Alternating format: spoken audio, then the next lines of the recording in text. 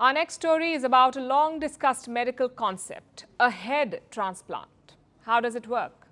Basically, you take the head of the living person and place it on the body of a brain dead but healthy recipient.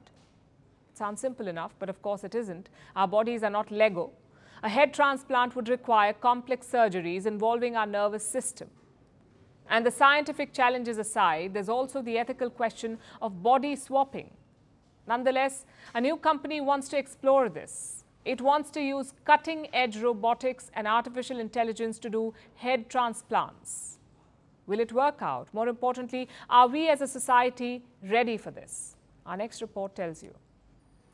At first glance, it looks like a scene from a dystopian movie, maybe even some evil robot factory.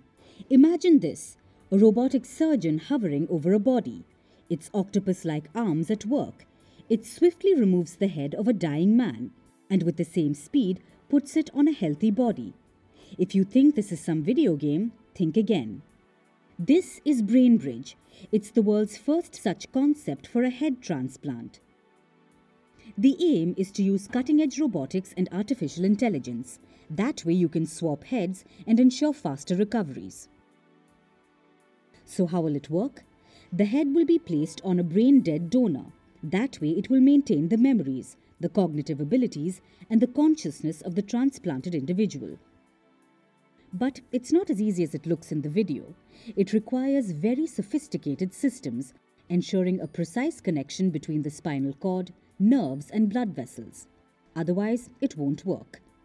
BrainBridge says the first procedure can happen in eight years. But there are a few challenges. The first is our nervous system. Removing a brain requires cutting through 12 pairs of nerves. And it's not like a circuit, it doesn't just join back together. Nerves die when they are cut, so reconnecting them will be a task in itself. But imagine all of this does work out. The nerves are reconnected, the transplant works perfectly.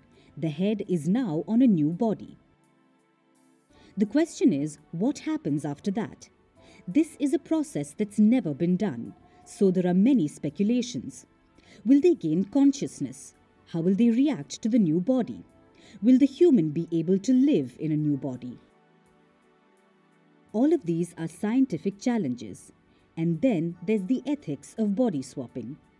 Is it even right? Can you adapt to a different body? Preserving the patient's identity raises many questions, especially about the continuity of the self. Plus, how will they deal with such a profound alteration of the body? But ethics and challenges aside, it's a concept that's gaining popularity. Why? Because people think it's the best way to cheat death, to bypass age and diseases.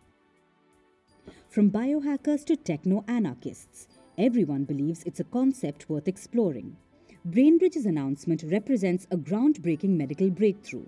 It has the potential to transform lives and the way we see medical science. As we stand on the brink of this medical marvel, one thing is clear the future is now. But we can't embrace it without addressing scientific, ethical, and societal challenges. Those must be carefully navigated to make body swapping a success. First Post reports from the world's second largest continent. Hello, I'm Alison Lagrange. A very warm welcome from Durban, South Africa. We get you the news and the newsmakers from Africa. South Africa goes to the polls on the 29th of May. I will track the election and bring you ground reports. Is it the end of the road for the African National Congress? And will former President Jacob Zuma stage a dramatic comeback? From elections to climate change, to innovations and opportunities. As the world's attention shifts, we report from Africa, the heart of the global south. Join me every weekday live on First Post.